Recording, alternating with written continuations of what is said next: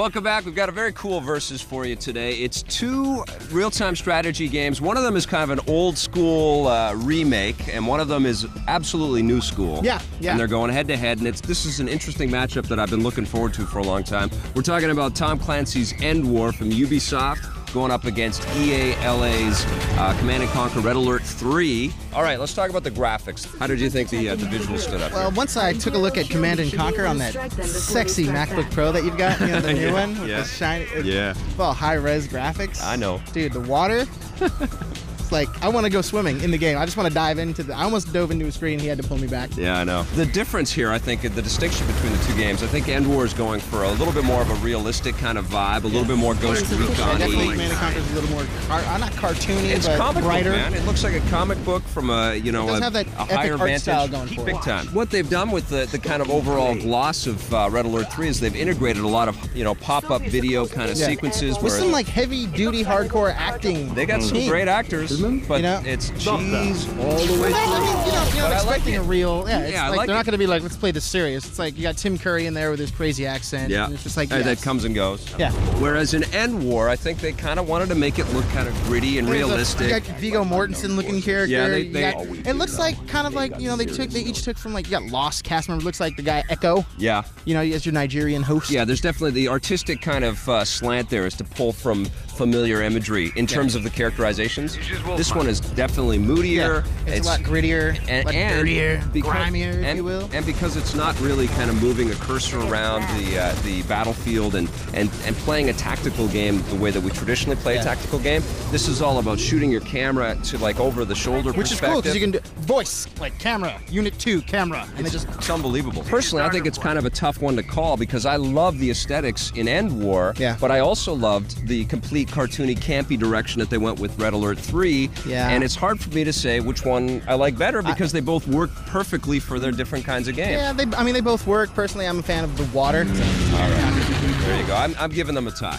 What about in the audio department? How do you think they stood up? Well, it all depends on your style of audio. Yeah. If you like just toned down melodramatic war themes, you're gonna go with that more. If you like rock and roll, Music in CNC is crazy, man. It is like a metal. It's like a heavy metal Yeah. concert going and on it's right there. It's like this, I'm trying to play End War, and I got him in the background playing Command and Conquer, and I'm just like,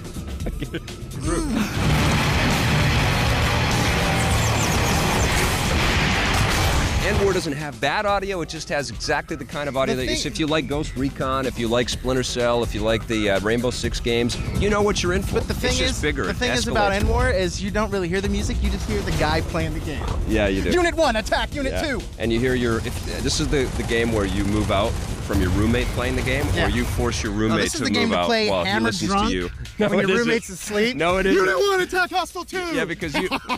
All right, so Yelling. so who you giving it to there? Commander and Me too. definitely. Yeah. Okay. Now, what about in the gameplay department? We're talking about traditional real-time strategy uh, tactics and tech trees and uh, unit building, un- unconventional animations, and uh, you know, kind of a cartoony, accessible vibe in Red Alert 3, Yeah. going up against End War, which is also very accessible, but it's a it's a different discipline to learn with the voice commands. But it's like it seems because like you don't have to necessarily guide your troops to destroy everyone. You tell them to go fight the first group of hostiles. Yeah. and they'll kill them, and they'll go on to the next guy. So like I was just like, Unit one, attack hostile one. Yeah. Unit two, attack hostile one.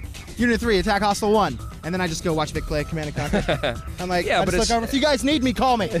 In the headpiece.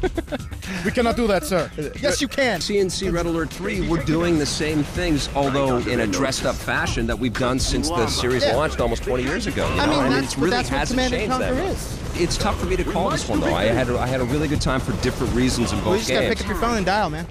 Pick No, up your phone and tough for me to dial. call. Tough for me to call. I like them both a lot. I, I'm uh, I think I I probably give them a tie. Don't get on her back. What about you? You're gonna say I'm Command and Command Conquer? All right. Okay. What are you gonna give Command and Conquer Red Alert 3? Command and Conquer 8.5. 8.5 for me as well. What are you going to give uh, End War? 8. 8.5 for me. So there you go. There's two very good RTS games available for you right now. Very Yeah. different approaches for these games. So maybe if you're a big RTS fan, you might want to have both of them. If you have a speech impediment, you're definitely going to want to play Command and Conquer. there you go. Today on the show, Jose and I took a look at Little Big Planet. Stunning creative choices and the freedom to add new content to the experience every time you boot up the game. Some of the jumps are challenging, but it's so hard to quibble. This is one of the best, guys. Get it. Golden Axe Beast Rider. There's some good design work in the game. The beast riding is great, and the combat is pretty solid, but there's no cooperative play, and you have technical issues to contend with. There are just much better hack and slashers to grab out there. SimCity Creator. The original SimCity game was great. Get that. In Versus, we took a look at Tom Clancy's End War, which features very cool voice command controls, incredible camera angles, and super dynamic gameplay.